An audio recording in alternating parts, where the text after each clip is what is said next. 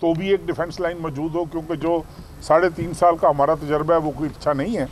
तो इसके लिए हम ज़रूर मुशावरत कर रहे हैं एक दूसरे के साथ। टाइम भी हमें दरकार है लेकिन आपकी वो बात के अदम अतमाद से तो पहले फैसला करना ही है तो इन ताला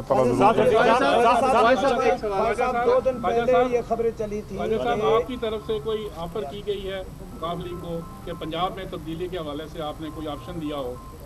दो दिन पहले ये खबरें चली थी कि परवेज लाई साहब को मियाँ नवाज़ शरीफ ने इनकार कर दिया। ये खबरें चली थी बाद में फिर वजात की तरफ़ से। तो मुझे ये बताएँ क्या नून लीग राज़ी है परवेज लाई को वजारत देने के लिए वजारत आला और मियाँ नवाज़ शरीफ का क्या पैगाम लेकर आए हैं आप?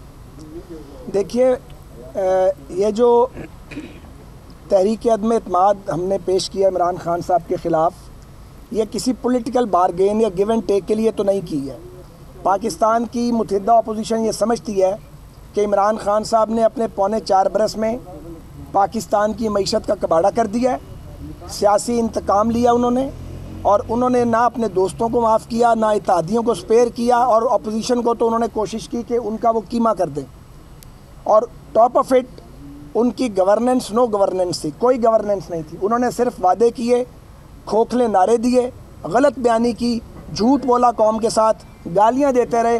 अब भी गालियाँ दे रहे हैं, उनके पास ना कोई प्रोग्राम है, ना उनकी कोई परफॉर्मेंस है। हम अपना ये केस लेकर पीएमएल क्यू के पास आए हैं। पीएमएल क्यू एक पॉलिटिकल पार्टी है और चौधरी साहिबान, ख़ुद तारिक चीमा साहब, इनका बड़ा तवील पॉलिटिकल करियर है। ये रियासी मामला को बहुत अच्छी तरीके से जानते हैं। हमने अपना मुकदमा इनके आगे रखा है और दलाइल पेश किए हैं कि इस वक्त इस हकूमत को घर जाना चाहिए अगर पाकिस्तान को मसाइब और मुश्किल से निकालना है। एक मिनट। तो उस पर तमाम सियासी अमूर पर गुफ्तु हुई है। ये जो अगले दिन खबर लगी थी कि नवाज़ शरीफ साहब ने चौधरी परवेज़ अलाई साहब के हवाले से किसी मनसब के कहा है कि ऐसा नहीं होगा। ये खबर बेबुनियाद थी ऐसी कोई बात नहीं है। इसका हकाइक से कोई ताल्लुक़ नहीं है।